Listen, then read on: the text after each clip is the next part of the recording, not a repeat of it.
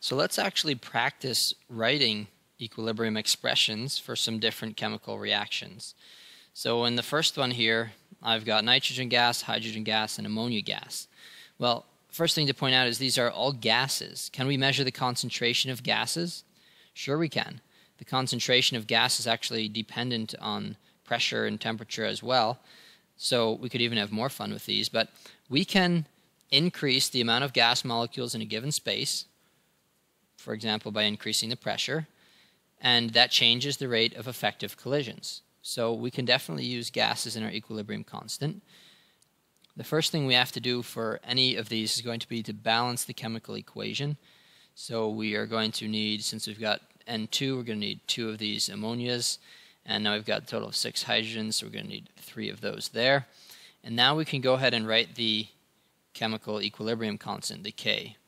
And it's going to be concentration of products. So we've got NH3 and then raised to the power of the coefficient. So this will be squared divided by the concentration of reactants. So we've got N2, there is no coefficient there, times H2, and that is going to be raised to the power of 3.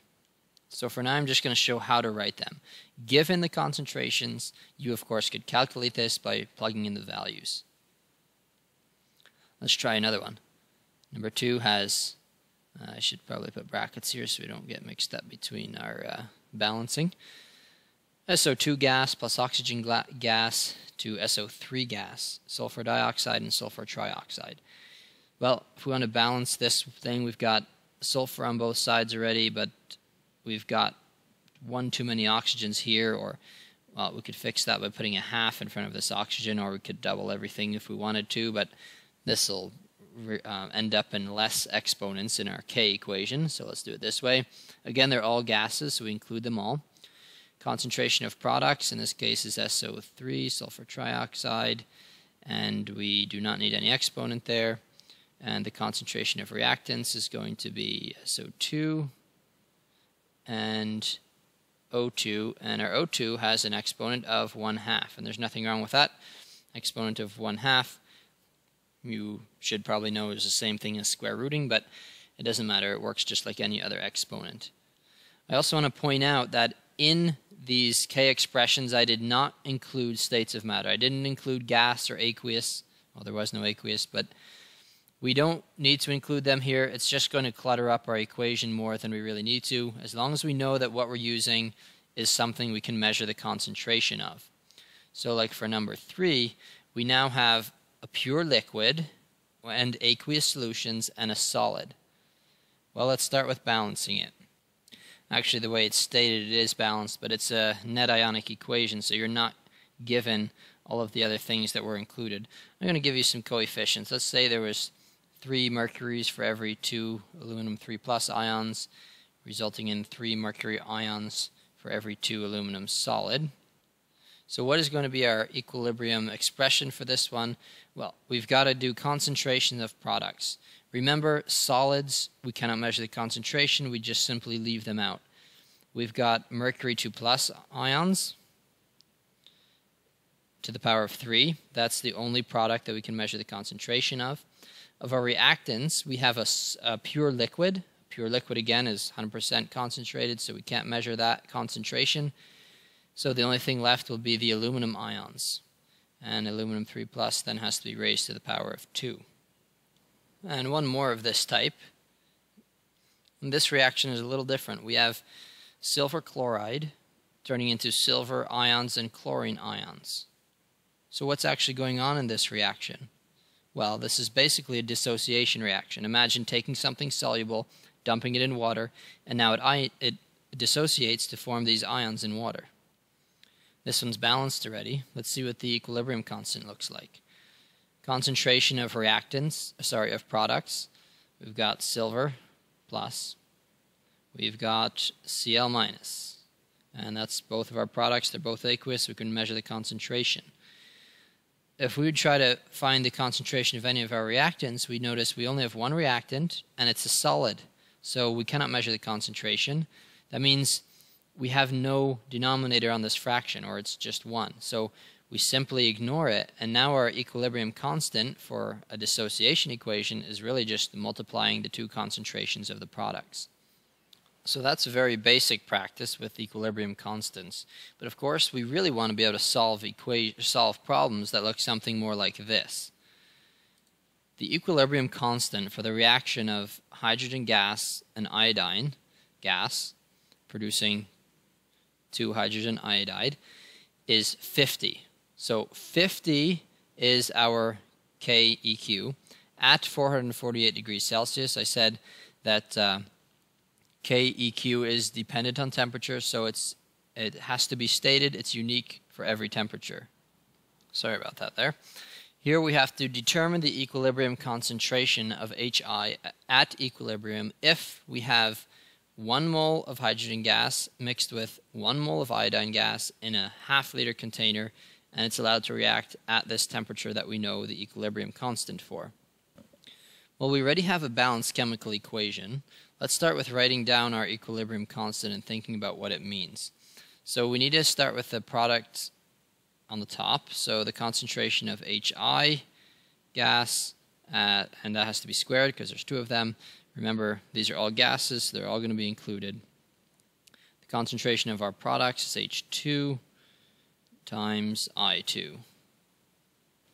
So this K tells us sort of a ratio of concentrations that this equation likes to sit at. It likes to have a certain ratio of products to reactants, but that's not what we're giving it. We are just simply dumping in one mole of hydrogen gas, one mole of iodine gas, and none of the product. So we're going to let it find its own equilibrium, and this 50 number is going to be sort of the equilibrium that it likes. But how are we going to concentrate, uh, sorry, how are we going to calculate the concentrations that we have at equilibrium? Well, to do this, you're going to have to make what's called an ICE table. An ICE stands for Initial, Change, and Equilibrium. So here's what that table would look like. And what it's there to do is to give us a good idea of what's going on with each of our entities present. So we're going to start with filling out the initial concentration and then trying to imagine what the change is going to look like and we're going to use variables that we will solve for in our equation. So let's start with calculating the initial concentrations. So the initial concentration of H2 gas, well, we have 1.0 moles, and that is in 0.5 liters. So we've got 2 moles per liter of H2 gas, and well, the other one is uh, the iodine gas is going to be the same. So this is 2, we might as well just say right here, moles per liter, 2.0. This is also going to be 2.0 moles per liter. And hydrogen iodide, well, we start with none of that, right? We start with putting our uh, reactants in and we have no product to start with. So now what do we expect to happen? Some of our hydrogen gas and some of our iodine gas are going to be used up and some of our hydrogen iodide gas is going to be formed. So let's pick any to start with and we'll suppose that X moles per liter of hydrogen gas are going to be used up. So a certain amount is going to be used up. That's going to result in a change of X moles per liter, a change in our concentration. Well, based on our balanced chemical equation, the same amount of iodine gas is going to be used up, so that's also going to look like minus X. And then how much hydrogen iodide is going to be produced? Well, twice as many moles are produced as are used up of anything else because of our balanced equation again. So this is going to be a change of plus 2x in the concentration of this gas. So the idea is that wherever we started, plus or minus the change is going to bring us to our equilibrium position. So we just basically add these to get our equilibrium. So our equilibrium here is 2.0 minus x for both of these.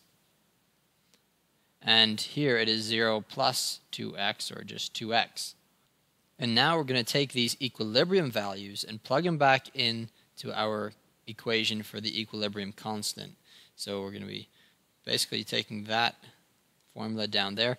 We know the K constant is 50. This is going to be equal to the concentration of hydrogen iodide gas at equilibrium squared. Well, we said that's going to be 2x squared. The concentration of hydrogen gas is going to be 2.0 minus x, and so is going to be the concentration of iodine gas. So now we just have a mathematical equation. If we can solve for x, then we'll plug it back into these other values and we can find what the concentration actually is at equilibrium. So it might seem like we're off into the realm of mathematics, and we are a little bit, but remember the data we're getting out is very useful, very practical. Right? It's literally telling us what will the concentration of this gas be. So let's do some simplification here. This is going to be equal to 2x squared over 2.0 minus x squared. Now we could square root both sides of this equation. So I'm going to square root the 50 as well as this fraction because we've got a squared in the numerator and in the denominator anyway. So the square root of 50 is 7.071. That's going to be equal to 2x over 2.0 minus x. So let's continue by multiplying both sides by our 2.0 minus x. So we end up with 7.071 here times by 2.0 minus x. That's going to be equal to 2x. If we can rearrange to uh, isolate our x, our variable, then we will have our answer. So 14.14 minus 7.071x equals 2x. I'm just doing this equation in all its gory detail. I assume you should be able to solve math equations probably uh, in fewer steps than this, but just to at least give you one complete example here. We'll add the 7.071 to both sides, so now I've got 14.14 is equal to 9.071x. And dividing both sides by 9.071 gives us to two significant digits 1.6 as our value for x.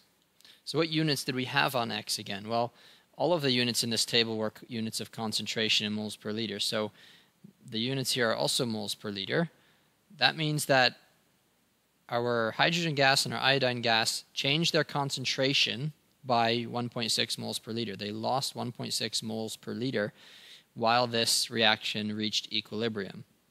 The question asked us to determine the equilibrium concentration of hydrogen iodide. So we're not actually asked about the concentration of hydrogen or iodine gas. We could calculate them by doing 2 minus this 1.6. What we are asked is for the concentration of hydrogen iodine gas, which we know is 2x, or in other words, 3.1. Uh, just a quick little note here. 1.6 times 2 is 3.2, but um, use the unrounded number. This is a good example of when that becomes important. So 1.6 I had rounded from 1.55 something in my calculator. Use that original number so you don't introduce any extra errors. And uh, technically you don't need to round until the very end when we'll round here to two significant digits. So this concentration is 3.1 moles per liter. So just a quick review of our steps there. Make sure you're starting with a balanced chemical equation. Make sure also that you are making the ICE table and you're basically filling in those values into the equilibrium constant equation and solving for x, plugging x back in wherever you need to.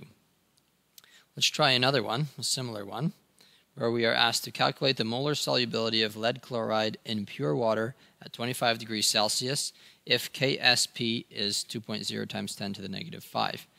You might be wondering what the SP stands for. SP stands for solubility product. Um, so basically that means we're doing a solubility equation and we're given the equilibrium constant for it. As always, start with a balanced chemical equation. So we're starting with lead chloride. Uh, without being given any more information, we'll assume it's lead 2 plus, which is the what lead most likes to be. It's in water. I guess we should draw a double-headed arrow because, of course, it's equilibrium, so it's not necessarily complete and it's dissolving. So we're getting out of this lead 2 plus, and we're getting Cl minus. Uh, let's balance this. So we're going to need two chlorines, chlorides to balance this equation. And next comes our K constant formula. So our equilibrium, const equilibrium constant for the solubility product is going to be the concentration of products over reactants. Products are both aqueous solutions, but as we saw for solubility, the only reactant is a solid, so that does not even take any part in our equation. So this ends up being only our products, which are the concentration of lead 2 plus times the concentration of Cl minus, which needs to be squared. So we'll make an ICE table. This makes it nice and easy because we only need two columns in our ICE table as well. So our table should look like this. Since the two things in our table are both products, we're going to start with an initial concentration of zero for both of them. And we know that some change is going to be added. So if we add some change to our concentration of lead ions, what is going to be the change in chloride ions? Well, it's going to have to be twice as much because there's twice as many chlorides produced in our balanced chemical equation. So at equilibrium, there will be a concentration of X lead ions and 2X chloride ions. So now we can plug this information back into our K equation, and we were given K for a certain temperature. So our K was 2.0 times 10 to the minus 5. This has to be equal to these two concentrations multiplied together, which were just X and 2x, and the 2x has to be squared. Right, so this is following again, continuing our equation solving here. So that means that 2.0 times 10 to the minus 5 is actually equal to, well, 2x squared is the same thing as 4x squared times another x is x cubed. So now we've got 4x cubed.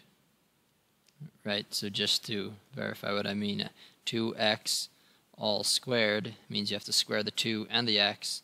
So that means squaring the 2 gives you 4, squaring the x is x squared. And then we're timesing that by another x yet.